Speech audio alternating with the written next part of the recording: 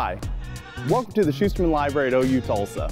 Today, we're going to show you all the things the library has to offer, and it's not all books and studying. So let's take a look around.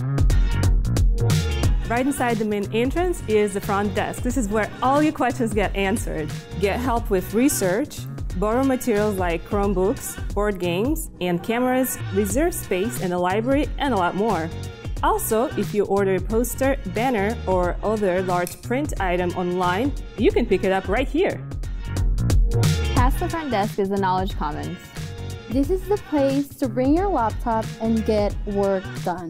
If you need access to a computer, we've got you covered there too.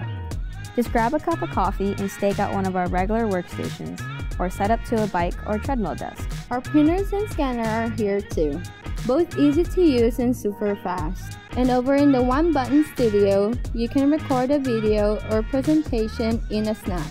If you need help with equipment, want to schedule an in-person consultation with a librarian, or anything really, just visit the Ask Here desk.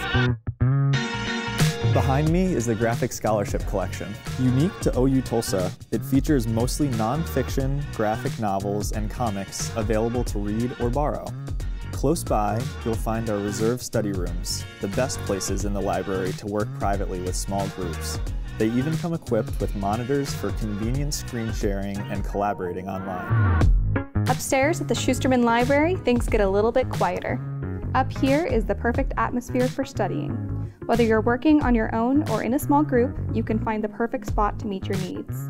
And it's all conveniently located right next to the stacks. Believe it or not, there's even more we couldn't fit in this video.